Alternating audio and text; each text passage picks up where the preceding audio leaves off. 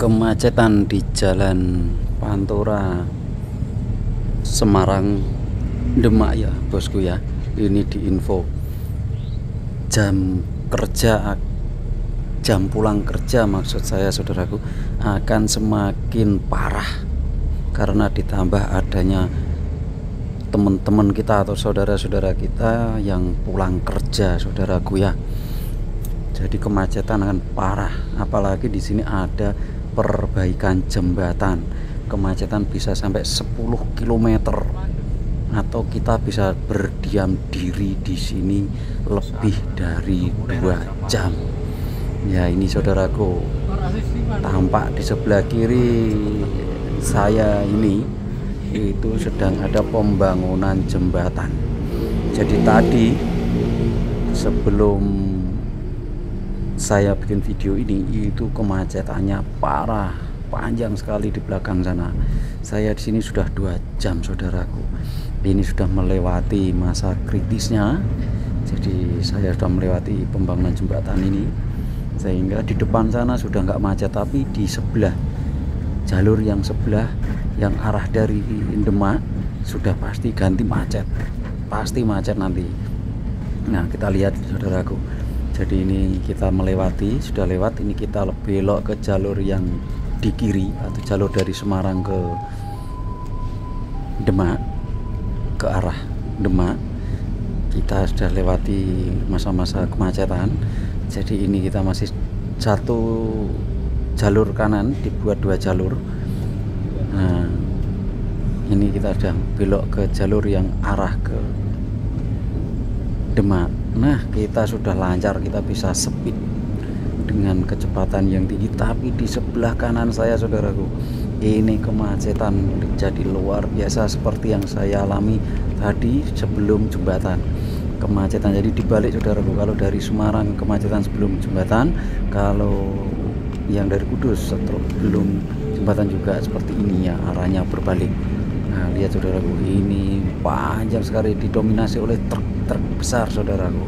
Karena mobil pribadi lebih banyak mencari jalan alternatif di kampung-kampung. Mungkin dia lewat Purwodadi mungkin dia lewat uh, lalu sampai ke Solo Tigo Solo dan seterusnya. Pokoknya bagaimana dia mencari jalan alternatif kalau mau keluar kota harus lewat sini ya. Ke Solo ke Jakarta dia bisa putar. Tidak masalah daripada macet di sini dua jam lebih bikin jenuh. Apalagi kalau jam kerja siang hari panasnya ya ampun saudaraku.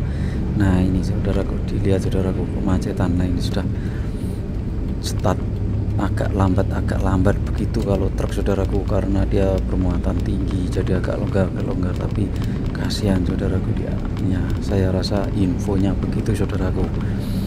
Ya semoga bermanfaat saudaraku. Kalau mau ke Semarang harus melewati Demak. Atau sebaliknya kalau mau ke Kudus mau ke Demak harus lewat Pantura ini. Maka sebaiknya cari jalan alternatif saudaraku. Jangan lewat sini. Parah parah saudaraku. Sangat parah ya sangat parah. Jadi jangan lewat sini saudaraku. Lewat jalan alternatif.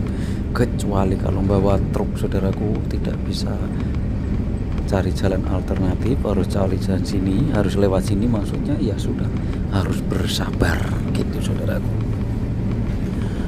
Ya ini saudaraku masih macet panjang. Panjang sekali. Kita lihat ini belum ada kelonggaran. Nah ini kita speed di atas 80 km per jam saudaraku. Nah ini lebih dari 5 kilo sudah kita tempuh kemacetannya. Nah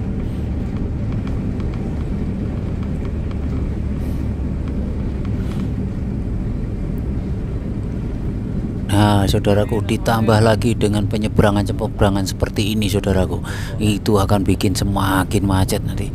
Lihat, saudaraku, ini sudah macet, di stop, ada orang nyebrang.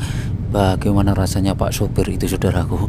Pasti dia dongkol, tapi ditahan. Harus sabar, harus sabar. Bagaimana tidak kadang dijebol-bol gitu ya, saudaraku ya.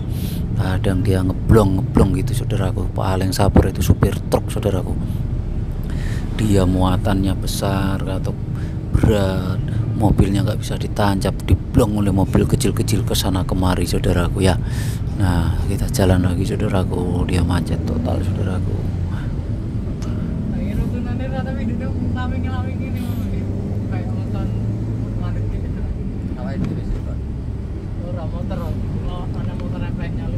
Kita lihat saudaraku masih macet ini saudaraku.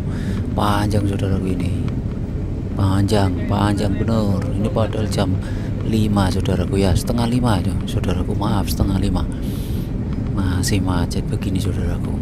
Ini sudah berlaku sejak awal Juli saudaraku. Karena pembangunan awal Juli dan itu sampai nanti satu tahun katanya saudaraku. 8 bulan lebih itu pembangunan itu. Berarti 8 bulan lebih kita harus bermacet-macet begini saudaraku ya parah saudaraku. Ya Pantura itu memang jalur terpadat di dunia saya rasa saudaraku. Terpadat di dunia antar provinsi ya.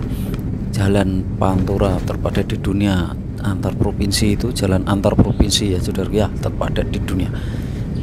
Dia ada hambatan sedikit aja dia langsung macet gitu. Hmm, padat sekali dia Nah, saya rasa begitu ya saudaraku. Ya, terima kasih. Semoga sehat selalu saudaraku. Jika berpergian tetap jaga kondisi dan berhati-hati. Terima kasih saudaraku. Wassalam. Semoga sehat selalu. Terima kasih.